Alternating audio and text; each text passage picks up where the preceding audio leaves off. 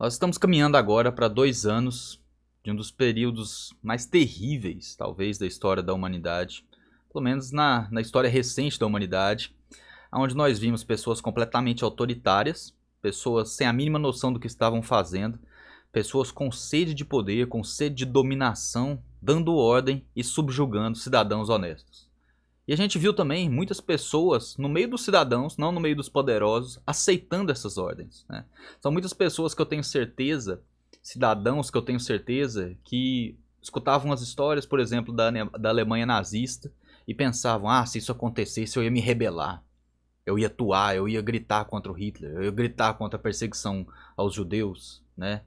Ou ler as histórias dos comunistas que mataram ainda mais os nazistas e falavam: ah, eu ia denunciar os males do Stalin eu denunciar tudo que estava fazendo, tudo, que estava fazendo de mal para a população.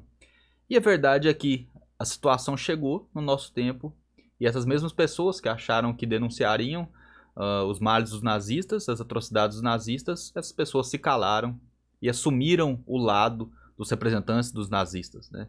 Ficaram do lado das pessoas que atacavam o povo, que perseguiam o povo e que destruíam a vida dos cidadãos e tentam destruir até hoje, né? Inclusive esse passaporte sanitário aí é a mais recente tentativa de destruição da cidadania de quem ousa desobedecer ou de quem ousa duvidar das ordens superiores do que se conviu, do que se convém chamar, né, de ciência.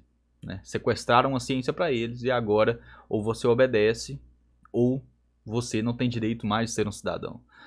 No entanto, há coisas tão óbvias que, que foram prejudiciais que não há mais como esconder. Vamos ler isso aqui, pessoal? Contrariando recomendações da OMS, Bolsonaro volta a defender reabertura de escolas. Então quer dizer que o Bolsonaro defendeu a reabertura de escolas. Isso aqui foi em 16 de 4 de 2020, né? 16 de abril de 2020. Esse aqui é o jornal O Globo, né? Aqui não tem, obviamente, a, a, a tag né, do Globo, mas esse aqui é do jornal Globo. Então aqui eles estavam criticando o presidente Bolsonaro justamente por estar tá defendendo algo óbvio, né? As crianças, elas não têm a, a, a, crise de saúde, ela não atinge as crianças de uma forma tão grave a ponto de justificar o fechamento das escolas. Então, você manter as escolas fechadas é um prejuízo muito maior do que qualquer vírus poderia causar. E eu vi pessoas com, com filho pequeno, filho de 5, 6 anos e com medo de mandar o filho para a escola, ou seja, a pessoa deliberadamente destruindo a infância, destruindo o conhecimento do próprio filho, porque preferia acreditar uh, nas frases histéricas que saíam no Jornal Nacional, ao invés do bom senso, ao invés da verdadeira ciência. Né? Muitas pessoas, por pura pirraça contra o Bolsonaro, contra o bom senso, uh, preferiram destruir a vida de seus filhos e a vida de seus familiares também.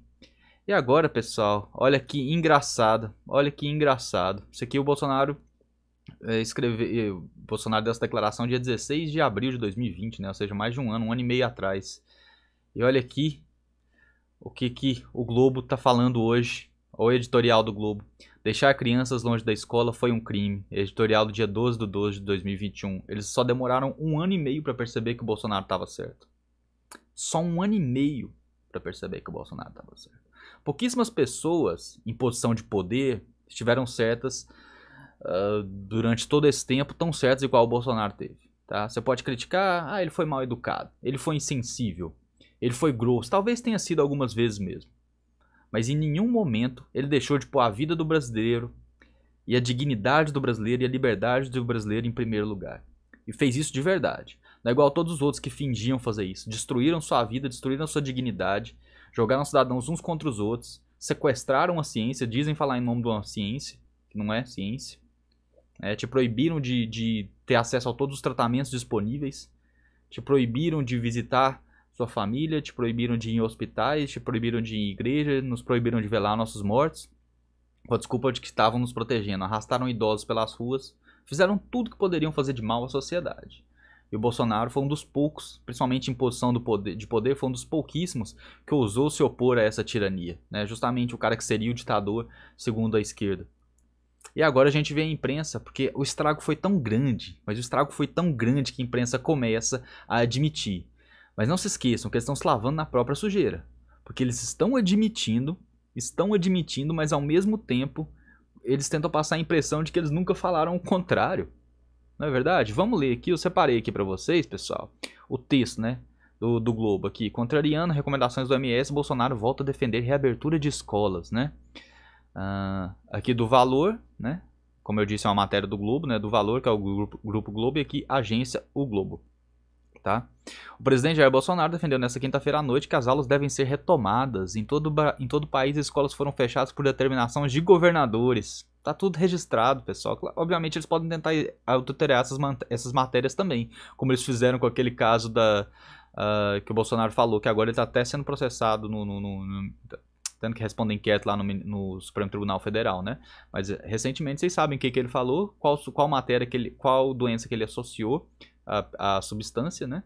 E vocês viram que ele precisou responder por isso. Então aqui, por determinação de... E, e eles alteraram aquela matéria. Então tá. As escolas foram fechadas por determinação de governadores como medida de prevenção para combater a pandemia.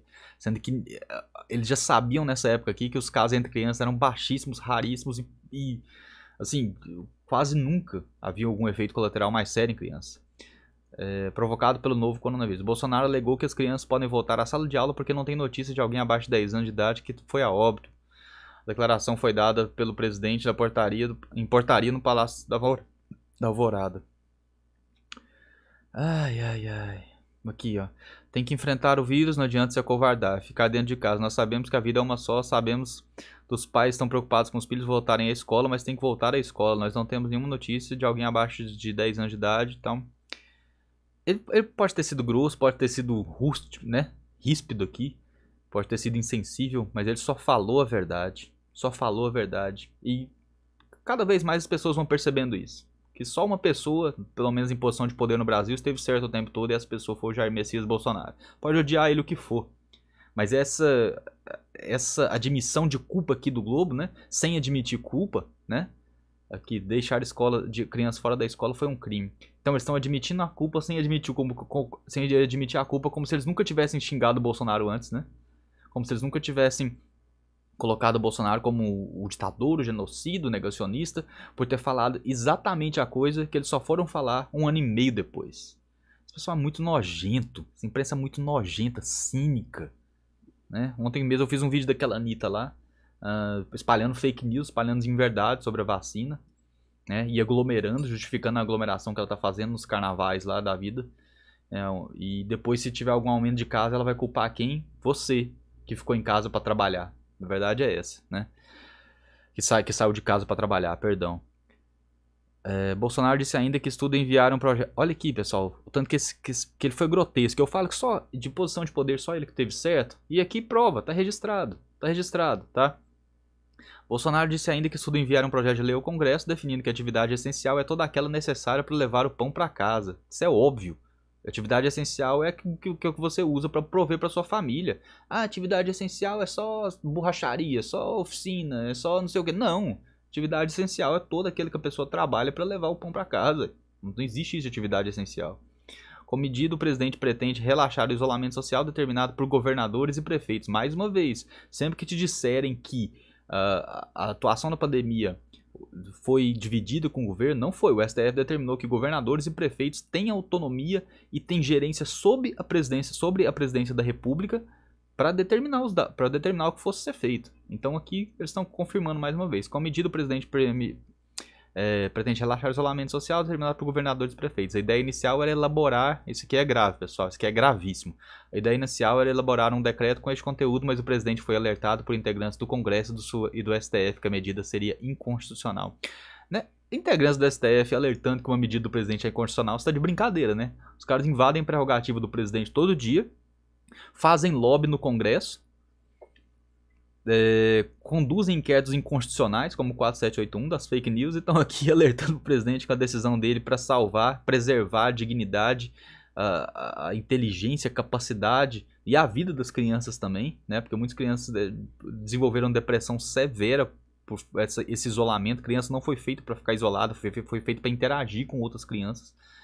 Então o Congresso, fala, o Congresso e a STF falar de inconstitucionalidade, meu amigo, e aqui para terminar, vamos ler o que, que, o Globo escreveu, né? Só o primeiro palavra aqui, só o, o primeiro parágrafo. Eu não, aqui, foi um crime, não há outra palavra manter crianças longe da escola por tantos meses, um crime de reparação longa e custosa que deixará marcas profundas em toda uma geração. Essa é a conclusão inescapável a tirar do relatório a Path to Recovery, né, que é um caminho para recuperação iniciado em conjunto de Unesco, Unicef e Banco Mundial, publicado nesse mês. Pelo amor de Deus, vocês são muito lixo. Vocês da Globo, vocês são muito lixo, vocês são muito cínicos. Vocês não merecem existir na sociedade brasileira, sabe?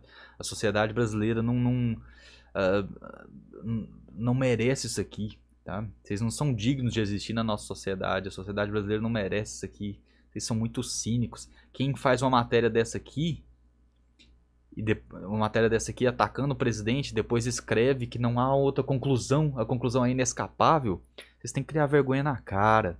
Vocês são muito lixo, a imprensa é muito lixo, pessoal. Por isso que eu falo, não me confunda com jornalista. Pelo amor de Deus, eu não sou jornalista, tá?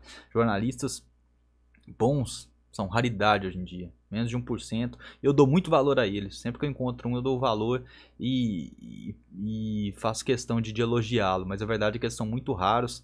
E eu sei que os mais prejudicados são eles. Por causa de coisas como essa aqui, tá? Porque os jornalistas bons, infelizmente, são prejudicados por isso aqui.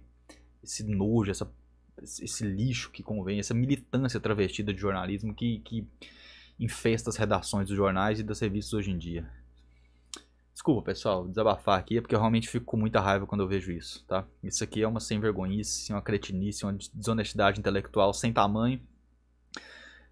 Eles demoraram um ano e meio para assumir o que o presidente vem dizendo. E a esquerda vai continuar repetindo: Bolsonaro genocida, Bolsonaro não sei o que, Bolsonaro negacionista, né? E agora eles estão admitindo, eles não vão. Esse aqui é só o primeiro. Eles não vão assumir muitas coisas. Só que eles não vão assumir falando que o presidente estava certo. Eles vão assumir como se eles nunca tivessem atacado o presidente por ter dito antes o que só agora eles vêm a público dizer. E não se enganem, eles sabiam disso desde o começo. Mas eles fizeram um cálculo, fizeram uma ação bem planejada para tentar derrubar o Bolsonaro. Eles querem é derrubar o Bolsonaro como eles derrubaram o Trump. A verdade é essa. Vai ser assunto para um, um outro vídeo. Pessoal, obrigado quem acompanhou. Não esqueça de se inscrever no canal, deixe seu like, seu joinha, ative as notificações para você não perder nada e principalmente compartilhe esse vídeo no WhatsApp com seus amigos para ajudar o nosso canal a crescer. Um grande abraço, fiquem com Deus, até o próximo vídeo.